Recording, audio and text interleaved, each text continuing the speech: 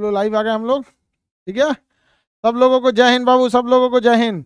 चलिए, आप लोग स्टार्ट करते हैं सी एच एस एल वाले क्लास को। एक नए अंदाज में पूरी बेहतरीन ढंग से सारे लोग अवेलेबल हैं यहाँ पे। आप देखिए सी एच एस एल में जितने लड़के हैं, जी जान लगा के मेहनत कीजिए और जल्दी से जल्दी आप लोग जॉब लीजिए और सेटल हुई अब इसमें आप लोग, सारे टीचर आप लोग को मिलके पढ़ाएँगे और ए टू जेड यहाँ पे। अभी हम लोग यहाँ पर कितने हो गए पाँच अवेलेबल हैं। दो लोग आप लोग को जो दो और टीचर हैं अमृता मैडम हैं और कल्याणी मैम हैं। Kalyani madam current affair Amrita madam आप लोग का ले लेंगी बायोलॉजी का क्लास को, वो ले लेंगे।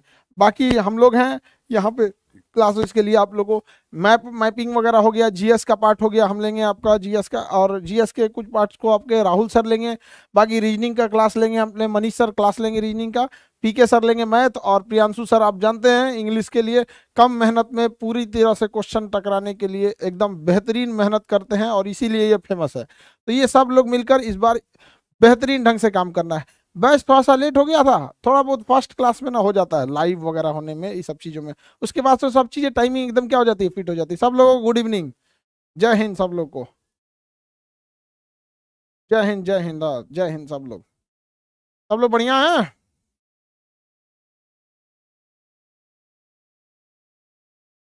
सब लोग बढ़िया ना? हाँ बढ़िया है सब लोग।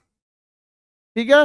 तो देखिए अब हम लोग सब लोग समझते चलते हैं यहाँ पे। आप लोग को कल्याणी मैम करेंट अफेयर लेंगी अमृता मैम बायोलॉजी ले लेंगी। आप उन लोगों से आ, कल से मतलब क्लासेज जैसे शेड्यूल हो जाएगा सारे लोग सब मिलते चलेंगे। अब एक एक करके हम लोग समझते हैं लोग कि सारे टीचर आपको एक एक करके समझा देते हैं कि कैसे कैसे चीज़ों को हम लोग आगे बढ़ेंगे। रीजनिंग में कैसे होगा जीएस का पार्ट में कैसे होगा क्रीज कैसे होगा पीके सर बताएँगे मैथ कैसे होगा प्रियांशु सर बताएँगे। तो सर रीजनिंग से स्टार्ट करते हैं लोग। लीजिए सर।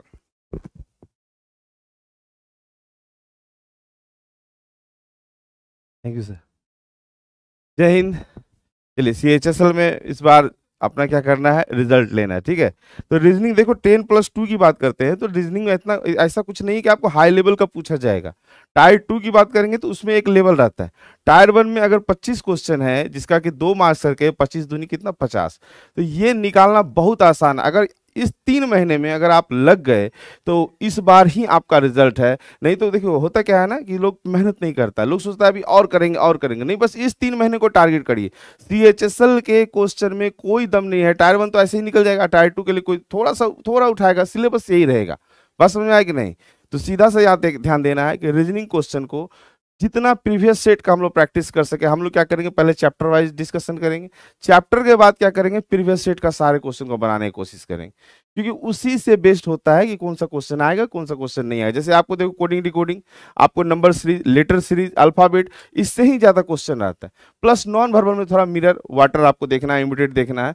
तो ध्यान देना है हर चैप्टर को कि हम अच्छे से लेके चलेंगे। और जहाँ तक बात है सीएचएसएल का तो बस इस तीन महीने के लिए आप तैयार हो जाए ये तीन महीना आपका पूरा भविष्य का निर्माण कर सकता है। इस तीन महीने के बाद आप सुकून से कम से कम एक प्लेटफॉर्म मिल जाएगा कि आपको जॉब है। फिर आगे बढ़ते रहना है। ऐसा नहीं कि नहीं बढ़ना है। तो ऐसा मौका और यहाँ आप देख ही रहे हैं कैसे टीम यहाँ पे आपको तैयार है। तो आपको कोई भी चैप्टर में, किसी भी सब्जेक्ट में कोई प्रॉब्लम नहीं होने वाला है, ठीक है? तो मन लगा के करिएगा, बस मेरे साथ रहेगा मेरा जुनून और आपका मेहनत अगर मिल जाएगा ना तो रिज़ल्ट कोई नहीं काट सकता है। बस आपको अपने पे लगे रहना है, भरोसा करना है और क्वेश्चन को रेगुलर रेगुलर आपको उसको देखना है, क्लास करने के बाद भी उस पर रिविजन करना है, ठीक है? तो ज़्यादा हम कुछ नहीं कहेंगे, शाम में क्लास होगी सात बजे, आज से तो स्टार्ट रहिएगा और उसके बाद क्लास में शुरू होगा। अपना रीजनिंग की क्लास ठीक है? थैंक यू आगे पीके सर करते हैं।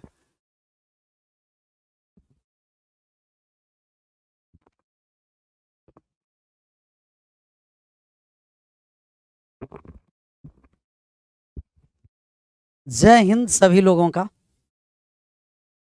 और जो हम लोग मैथ का जो सेक्शन हम लोग कवर करेंगे सर वो तीन पार्ट में है। मैथ अर्थमेटिक है आपको।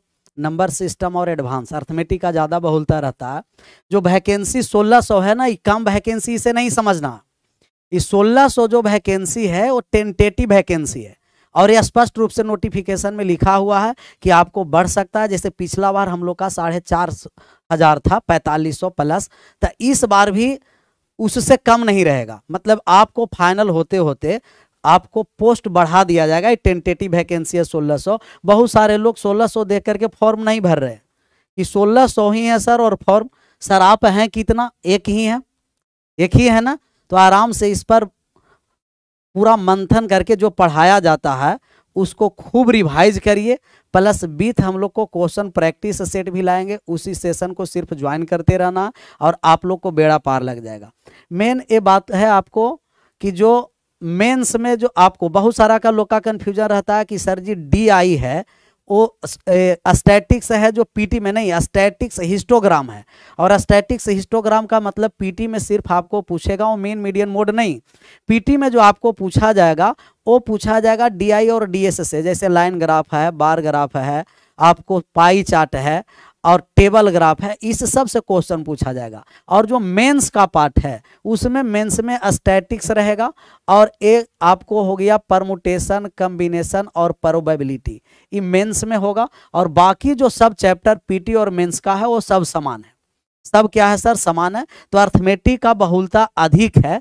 तो सबसे पहले हम लोग अर्थमेटिक का कवर करेंगे और अर्थमेटिक के बाद नंबर सिस्टम और एडवांस तो अर्थमेटिक पर ही चलेंगे।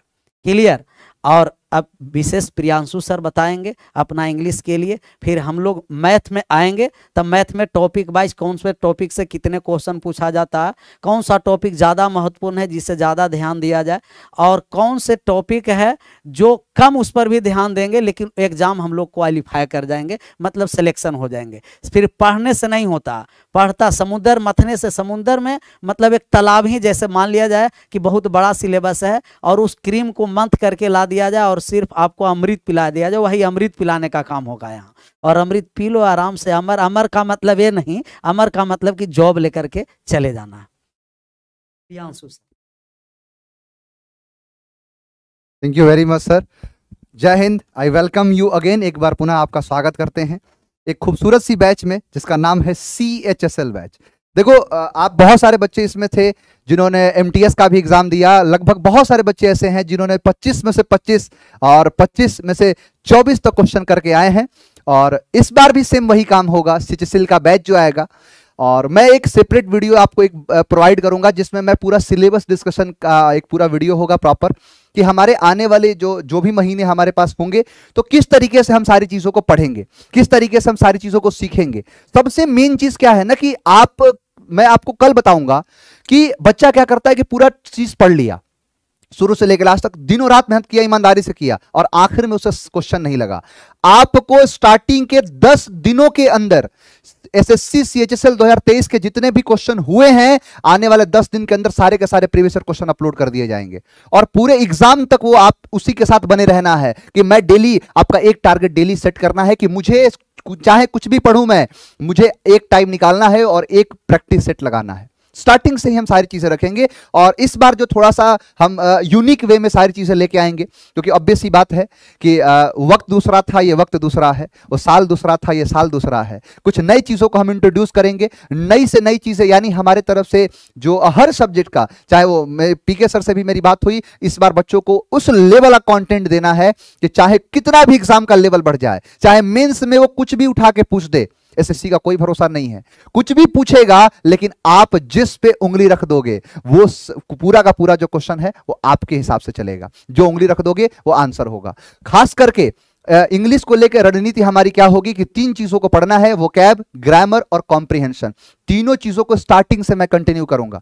आपको, आपके पास आपके पास पहले यह पता होना चाहिए कि आपको आखिर के समय में कैसे कैसे क्वेश्चन देखने को मिलेंगे। तो स्टार्टिंग से ही आपको मैं दस दिनों के अंदर आप देखोगे 2023 के अंदर जितने भी प्रीवियस ईयर क्वेश्चन हुए हैं, उन सारे क्वेश्चन को मैं अपलोड करवा दूँगा।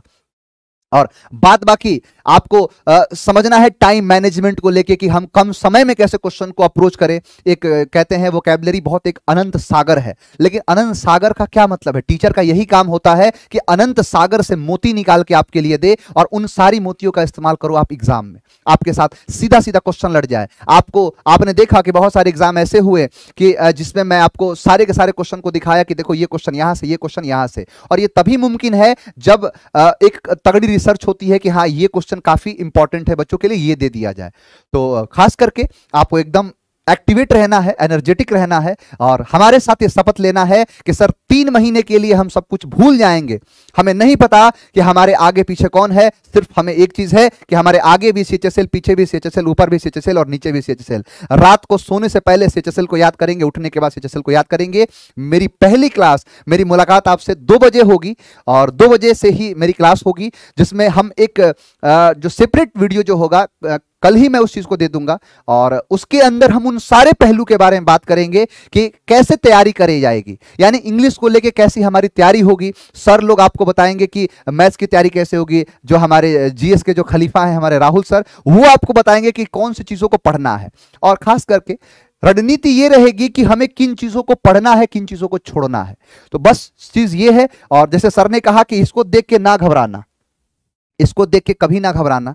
क्योंकि आपको पता है कि 1600 बहुत है। आप कितने हैं? एक। और एक अगर देखोगे तो आपको ज़्यादा लगेगा। और बस यही चीज़ आपको करना है, यानी आपको पहले ही पता चल चुका है कि इस लड़ाई में, इस लड़ाई में निन्यानवे परसेंट लोग बाहर होने वाले हैं। तो मेरी गिनती उस निन्यानवे परसेंट में नहीं, मैं अकेला एक परसेंट में, मैं लड़ाई लड़ने जाऊँगा। तो आपको एक परसेंट को कॉन्सेंट्रेट करके और काम करना है और साथ साथ में आपको यह ध्यान में रखना है कि अब की बार, आखिरी बार। क्योंकि मेरा बार बार यही कहना है कि नौकरी पाना ज़िंदगी का एक हिस्सा है, ना कि ज़िंदगी है। जितना जल्द से जल्द आप क्या करो कि जितना जल्द से जल्द अपनी नौकरी को सुनिश्चित करो और बाकी की ज़िंदगी आप उसमें लग जाओ कि कैसे हम, जो ज़िंदगी मिली है, उसको हम आगे इस तरीके से बढ़ाएँगे। तो बाकी हम जो खास चीज़ों के बारे में हम कल दो बजे से, हमारी पहली मुलाकात आपसे होगी। दो बजे से ही इंग्लिश को इंग्लिश के सारे सिलेबस से रिलेटेड जो हमारे जो भी रणनीति होगी, कैसे हमारा जो टाइमिंग क्या होगा, किस तरीके से किया जाएगा, अगर हमें वक्त लगता है कि नहीं कम है, हमारे पास वक्त की कमी पड़ती है तो हम वीकेंड पे क्लास लगाना शुरू कर देंगे, जो एक लंबी लंबी क्लासेस जो मैराथन क्लासेस के रूप में आपको देखने को मिलेगी। और बाद बाकी इंग्लिश के अलावा जो है हमारे जीएस के जो खलीफा हैं राहुल सर, उनसे आप पूछ लीजिए कि जीएस की रणनीति कैसे होगी। चलिए, कल मुलाकात होगी हमारी। थैंक यू वेरी मच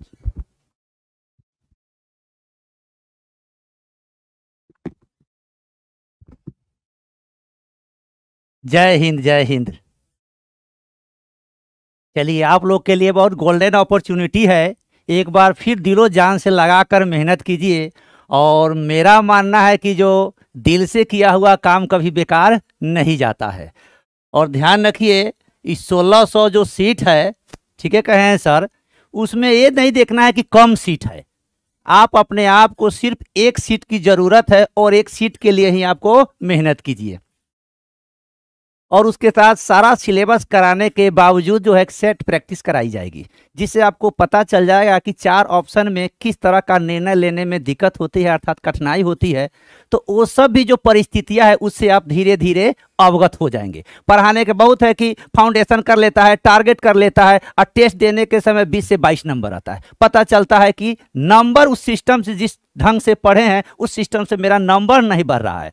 और आप तो जानते हैं कंपटीशन में कौन क्या पढ़ा है, कोई मायने नहीं रखता है, किसके पास कितना नंबर आया, वो ज़्यादा मायने रखता है। तो उसके साथ हम लोग का व्यवस्था भी किए हैं क्योंकि टेस्ट कराई जाएगी, ताकि आपको ये पता लग जाए या डिसीज़न लेने में आपको दिक्कत ना हो, कठिनाई ना हो चार ऑप्शन में किस तरह का डिसीज़न कब कैसे लिया जाए, ये धीरे धीरे हम लोग साथ में पढ़ते और ब्रॉड करते चलेंगे, ताकि एग्ज़ाम में हम लोग को कोई नया परिस्थिति पता ना चले। अब मैं ऐसा लगे कि इस परिस्थिति में तो ऑलरेडी हम दो तीन महीना ढल चुके हैं, ऐसा आपको लगे, सारा माहौल आपके लिए पुराना लगना चाहिए। ना? और आज यही तक, कल से जो आपका टाइम शेड्यूल रहेगा, आप लोग को बता दिया